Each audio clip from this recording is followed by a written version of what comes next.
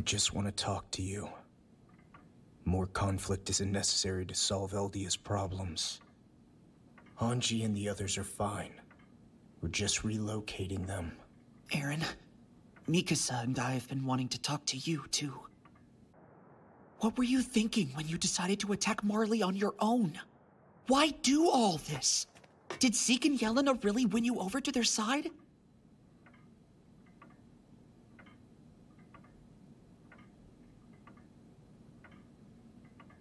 I am free, Armin. Every single thing that I've done, I decided to do. My actions are governed by nothing but my own free will. So even though you secretly met with Yelena, you're saying that this was all you? Yes. No way. You're being manipulated.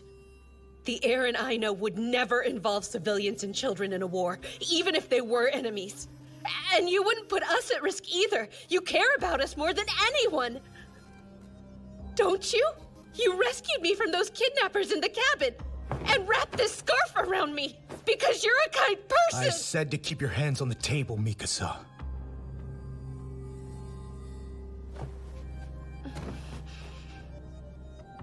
Back in Liberio, I spoke with Zeke brother to brother. Learned a lot of things from him. Honestly, it seems like he knows even more about how Titans work than Marley does. Armin, what do you think it is that drove you to start visiting Annie? Do you really believe it's your own free will? What? I don't. If memories play a major role in shaping us into the people we are, then part of you has become Bertolt. Within you is an enemy who has feelings for another enemy. Understand? Bertolt has gotten into your head.